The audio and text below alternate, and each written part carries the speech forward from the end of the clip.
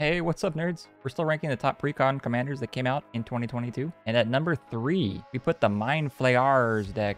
This deck came out in the Dungeons and Dragons Battle for Baldur's Gate set. The deck centered around Horror Tribal and some Mill, and the face commander was Captain N'ghathrod. Without even upgrading this deck, it could hold its own against a pod full of actual decks, and that's what made this deck so crazy. And if you did want to upgrade it with just a couple of changes, this thing could be really, really strong. If you picked up this deck, I'm sure you know what we're talking about. But if you're looking for some upgrade tips, check out the description below. We made an entire video about that. Make sure you're subscribed to Guys That Magic, and I'll see you tomorrow. Bye-bye!